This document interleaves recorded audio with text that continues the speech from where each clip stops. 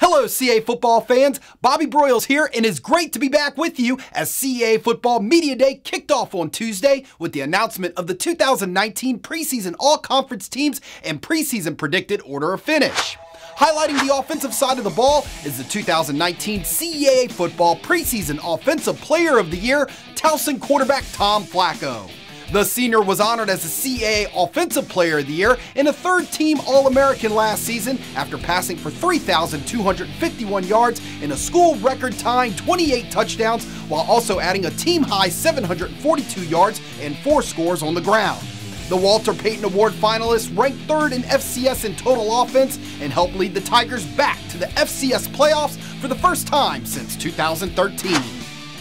The 2019 CAA Football Preseason Defensive Player of the Year is Richmond defensive lineman Maurice Jackson.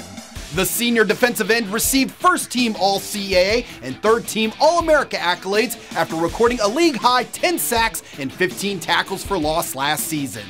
Jackson finished with 46 total tackles and also contributed three quarterback hurries and a CAA best four forced fumbles. JMU landed in the top spot of the CAA football preseason predicted order of finish. The Dukes returned nine starters on offense and 10 on defense from a team that went 9 and 4 a year ago and made their fifth straight appearance in the FCS playoffs. JMU is followed by number 2 Towson. The Tigers welcome back six starters on offense and seven on defense from last year's 7 and 5 squad that earned an FCS playoff berth for the first time since 2013. Maine rounds out the top three. The Black Bears bring back seven starters on offense and eight on defense from a 10 and 4 team that captured their first CAA football title since 2013 and advanced to the semifinals of the FCS playoffs for the first time in school history.